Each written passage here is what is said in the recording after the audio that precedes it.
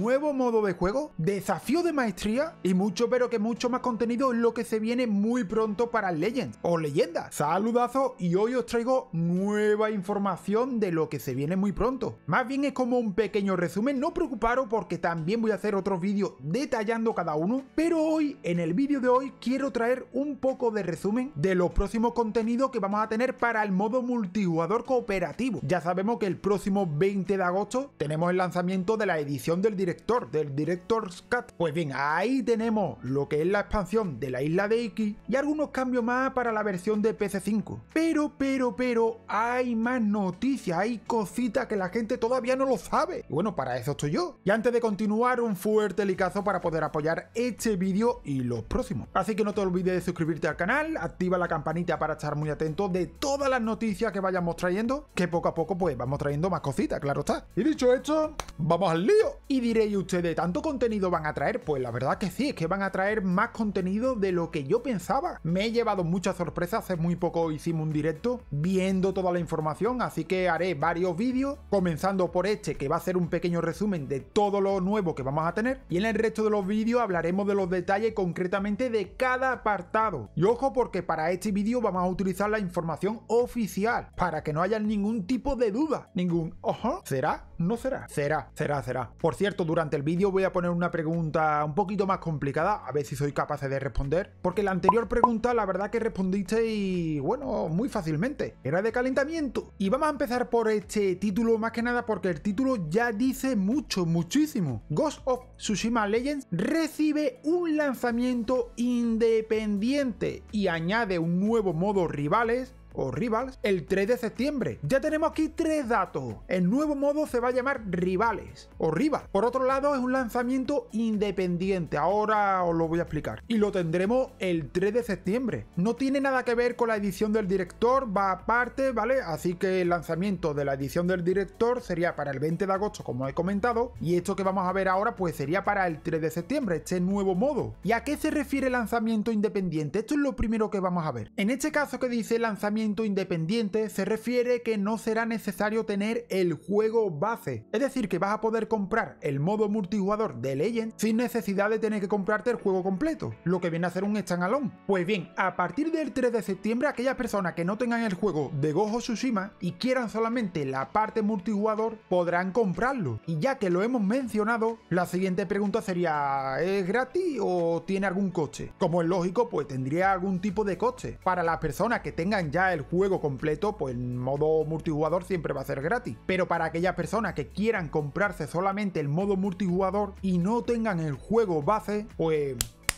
apagar. Y me voy directamente a esta parte de abajo del todo porque menciona cuánto va a costar. Indica que la nueva versión independiente de Legend estará disponible en PlayStation Store por 19,99 para las consolas de PC4 y PC5. Por tanto, si tú quieres solamente el modo multijugador, no quieres comprarte el juego base, te va a costar el modo multijugador de Legend 20 pavos. Y en un futuro indica que aquellas personas, aquellos jugadores que compren la versión independiente de Legend y se animen a disfrutar del resto de Gojo Tsushima, es decir, el juego completo, podrán actualizar su versión a Gojo Tsushima Director's Cut a la edición del director en cualquier momento por 50 pavos para PC4 y 60 pavos para PC5. Ya tenemos la fecha que sería para el 3 de septiembre, que puedes comprarlo de forma independiente y te costaría 20 pavos, o bien si ya tienes el juego completo, como por ejemplo yo y muchos de vosotros, pues no vaya a pagar nada. Todo es gratis, todo el multijugador sería gratis para nosotros. Vamos a leer un poquito la información, dice, en primer lugar, estamos muy contentos de presentaros Rivales, el nuevo modo, un modo de juego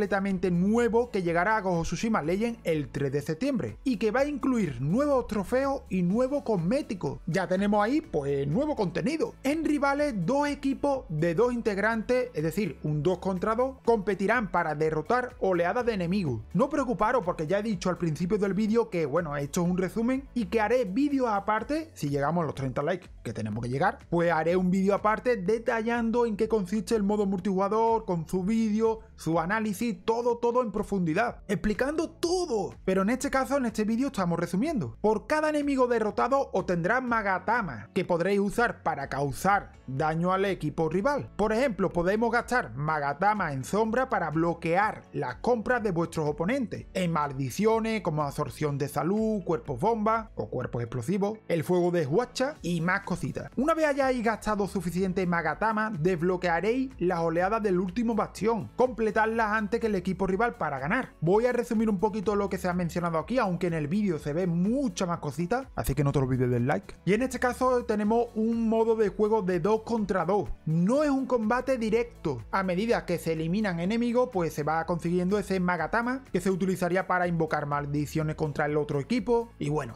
todo lo que nos ponga por medio. En resumen, para fastidiar al equipo oponente. Y cuanto más Magatama utilicemos, pues más rápidamente llegaremos a desbloquear el último bastión, que serían como las oleadas finales para poder ganar la partida. Cuanto más enemigos matemos, más Magatama, más podremos fastidiar al equipo oponente y antes podremos desbloquear el último bastión. No es un PvP como mucha gente piensa, ni tampoco es un PvE, sería como una mezcla de ambos. Sería como un mixto PvP, VE. La cuestión es que mezcla la parte cooperativa y también esa parte competitiva, ya que son dos contra dos. Este modo me encanta más que nada porque no es tan competitivo como jugar un jugador contra otro, ya que ese modo de uno contra uno que muchos de vosotros estáis pidiendo puede provocar que sea muy tóxico y puede cargarse incluso el modo multijugador. Y este modo en concreto no es un combate directo, te enfrenta contra otro equipo, pero de una forma indirecta, es decir, actuando por tu cuenta y fastidiando al otro equipo. Entretenido, una forma de fastidiar al otro equipo pero sin tener que tocarlo. ¡Te maldigo! No sé qué opináis vosotros sobre este nuevo modo. Yo opino que este modo va a ser muy, muy, muy entretenido y que va a dar mucha vidilla al juego, al modo multijugador. En mi... ¡Coño!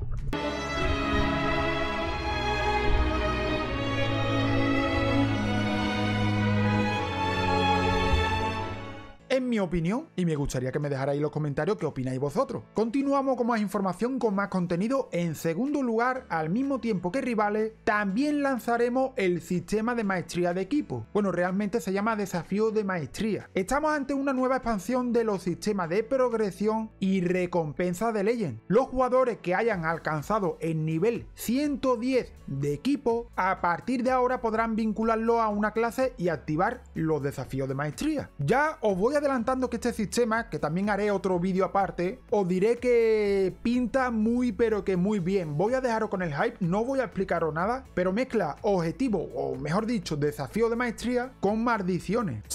No voy a decir nada, pero la verdad es que mola bastante y lo diré en otro vídeo como he comentado. Pero bueno, resumiendo, dice que nos permitirá subir de nivel del ki de una pieza de equipo hasta el 120. Antes era hasta el 110, pues ahora se podrá subir hasta 120. Pero solamente subir hasta 120 no, no, no, no, no, porque tiene algo que os va a gustar mucho. Indica y desbloquear una segunda ranura de ventaja. Ya sabéis que cada objeto tiene dos mejoras y una ventaja. Vale, pues en este caso vamos a tener dos mejoras y dos ventajas, o por lo menos esa es la idea. Una vez activados los desafíos de maestría, también podréis desbloquear una nueva habilidad y nuevas técnicas para cada clase. Por tanto, no solamente vamos a poder aumentar el nivel del ki, sino que también vamos a poder desbloquear nuevas habilidades ni nuevas técnicas para cada clase. Quiero desafío de maestría ya. Yo no sé qué me ha dado más hype, si el desafío de maestría o el nuevo modo las dos cosas por igual. Pero no preocuparos porque ya os digo que el desafío de maestría parece que es algo fácil, pero no va a ser fácil. Os estoy dejando seguramente con el high para el próximo vídeo. Es que lo veo, lo veo, lo veo, lo veo. Pero antes de continuar, vamos con la preguntita del día. Todos conocemos a nuestro queridísimo Norio. Pero la pregunta es, ¿cómo se llamaba el hermano? Número 1. Enjo. Número 2, Kochi. Número 3, Sogen. Deja tu respuesta en los comentarios y vamos a continuar. Y continuamos, continuamos, ¿eh? Ojo, a partir del 20 de agosto, que es cuando se lanza la edición del director, también lanzaremos una actualización extra, que no se había comentado hasta ahora, que añadirá nuevas funciones a Legend, incluyendo algunos cambios basados en los comentarios de la comunidad. Es decir, que han escuchado a la comunidad. Hemos reequilibrado el modo supervivencia para reducir la duración de las sesiones y hemos añadido nuevas variante de desafíos semanales de supervivencia en pesadilla. Y es verdad porque se estaban repitiendo ya los desafíos semanales una y otra vez. También hemos desbloqueado cosméticos adicionales, es decir, más cosméticos en Legend para aquellos jugadores que los hayan obtenido jugando a la historia de Jin y nueva partida plus. Vale, en este caso hay un pro y una contra, que quien no compre el juego completo, estos cosméticos no lo va a tener. Sin embargo, quien haya comprado el juego completo y se lo haya pasado, o lo haya conseguido el cosmético durante la historia, lo tendrá pues en el modo Legend. Solamente esta parte que acabo de mencionar sería para el 20 de agosto con la edición del director, con la Director's Cut, pero el resto de la información que estoy dando y que voy a seguir dando sería para el 3 de septiembre. Y ojo, porque se viene... ¡Uh!